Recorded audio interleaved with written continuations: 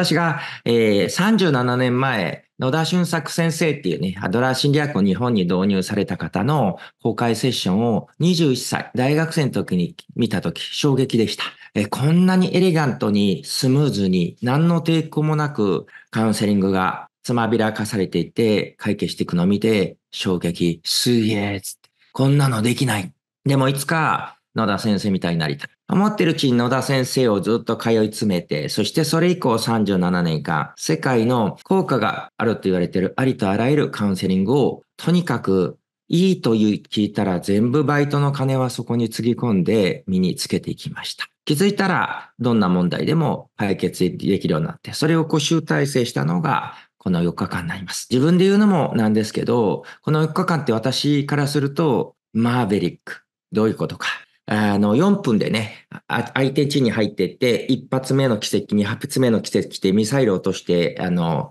核爆発をね、あの、工場をこう爆破するみたいな、ああいうミッションな感じで、本当だったら2、30回かけてセッションやるところを、え5分、10分で、しかもいろんなうちの仲間との協力でやっていくような感じです。で、なんでその必要があるの？それは4日間で教えなきゃダメ。だからです。これが大学で4年ぐらいだったらちょっと慌てずにゆっくりとできるんですけど、4年ぐらいでやるのをこうギュッと4日でやるので、すごいこう、えー、コンマ1秒のずれなくみんなで変態を組みながらやっていくっていう、そういう緊張感。セッションがね、解決できることとかうまく教えることに関してはのんのん緊張感もないですけど、いかに短い時間で、えー、120年の歴史を進めるか、まあ、正直言うと私の緊張感です。この4日間はカウンセリング領域。大きくカウンセリング、コーチングの違いを分けると、えゼロからプラスがコーチング。問題はないけどどうしたいのかがコーチングだとしたら。いや、なかなか前に進めない。自分のことが受け入れない。これがマイナスからゼロのカウンセリング。この4日間は、とりわけ、マイナスからゼロのカウンセリング。で、それがクリアになって、えー、もっとプラスを扱いたい場合は、平本式のコーチング、リーダーシップの3ヶ月コースでぜひマスターしてください。で、さらにその上にゾーンフロー。まあ言ってみれば今ここ、えー、もしくは悟りの境地。これがゾーンフローは瞑想の2日間。6月でぜひやってみてください。まずはこの4日間。マイナスからゼロ。で、マイナスからゼロって言うとすごい重い気がするんだけど、実はこのマイナスからゼロが最も楽しくて幸せです。なぜなら、いや、絶対無理だろっていうのから突き抜けてくるこの喜び、あ、こんな人もこんなに変われるんだっていうのの感動の落差は尋常じゃないぐらい激しくて、えー、本当にドラマ多分40本分ぐらい見たような号泣と感動と解放感がこの4日間あります。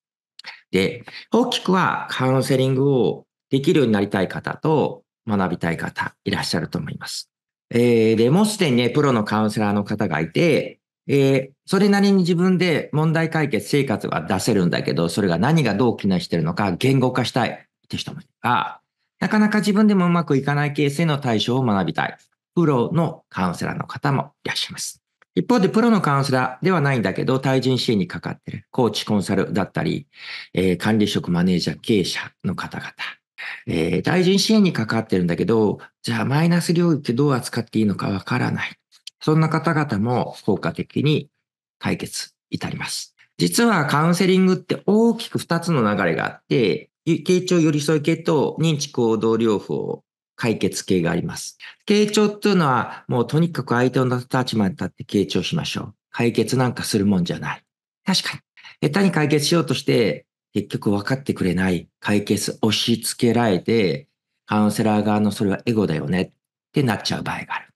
一方で認知行動療法系の人は、いや、寄り添ってばっかりで、なんか日常変わんねえじゃんって言い方になるんですね。傾聴だけだったら。実は、平本式はこの両方が入っています。白色共感のところは傾聴的要素があり、現場検証何が起こってるかの時は認知行動療法とかな要素があって、さらにプラスアルファ、この中で結構効果があると言われている、ありとあらゆる最新技術が一つの理論に基づいて機能するようにしてるんで、ぜひぜひ楽しみにしててください。ということで、この4日間、こんなにバリエーションがあるんだ。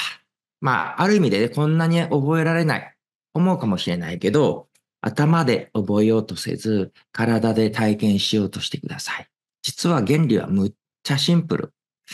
なので、ぜひ体験的に学ぶようにしてください。えっ、ー、と、この4日間の中には、超プロのバリバリいろんな知識、経験、スキルがあるプロのカウンセラーの方もいれば、まるっきりカウンセリングが生まれて初めてって方もいらっしゃいます。え、なんで一緒にするの？実は、マインドセットとしては、同じ横の関係でニュートラルな関係でいってほしいからなんですよ。だから組んだらむっちゃできるカウンセラーとカウンセリング初めてですって人が組んだりします。その時に知ってる人は私知ってるんだけど、みたいな顔をせず、まあ知ってるっていうことは言っていたくないんですがね。スタンスとしては謙虚でいってほしいし、えー、初めての人もごめんなさい、初めてでってビクビクせず、ちゃんと勇気を持ってここに来ましたやってほしいんです。結構、あの、少なからずよくあるのは、表面的にはロジカル思考でポジティブでいい感じでやってんのに、実は内面は蓋があって、心の奥底で何かが出てて、これがちらりほらり出てくる場合がよくあります。なぜなら、カウンセリングとかヒーリングとかスピリチュアルとか、心を癒す系が今すごくたくさんあるおかげで、いいところはそういうのが復旧して癒されてるんだけど、本当は蓋の底では何かがうごめいてるまま、えー、取り過ごしている場合があるんですね。ポジティブなんだけど、本当は、本音はネガティブがあると。で、このネガティブを蓋をしている場合、私たちが行きたいのは、この上のポジティブに持っていくのではなく、本音のネガティブを出し切ったさらに本音のポジティブまで本音のポジティブって何かあったら、本当はもうちょっと分かってほしい、認めてほしい、愛してほしい。でも、そんなの言っちゃダメ。そんなの自己承認。そんなの、あの、わがままだから。そんなのはダメ。いつの間にか、ちっちゃい頃お父さんお母さんにね、わがまま言うんじゃありません。我慢しなさい。お姉ちゃんなんだから。とか、兄弟多いんだから。えー、ね、なあ、場合によっては、女なんだから行かなくていい、勉強しなくて、みたいな感じの言われ続けてきたので、なんかだんだんこの本音のネガティブを蓋して、この上をポジティブ。下手をしたら、少なからず心理療法、カウンセリング、ヒーリングが上だけ今ここ幸せ宇宙とつながって愛されてるみたいにやって感謝感謝ってやるんだけど、ひょっとしたら中にうごめいてる可能性があるんですね。で、私たちが使いたいのは、これも OK で、これ一生住めばどうぞなんだけど、なんかもやもや出てきて生きづらさ、えー、出てきたら、ここも大掃除しましょう。ということで4日間は、年末多くの皆さんが大掃除すると思うんですけど、1年分の。あれを人生分の大掃除をこの4日間。で、まあ中にはちょっと年末だけじゃちょっと無理だったなと思って正月まで持ち越しちゃう人いると思うんで、2回再受講を受けれますんで、1回で無理だったら2回目でやってください。ちょっと頑張って1日でやる、4日でやるとするとね、ちょっとしんどくなる人もいますんで。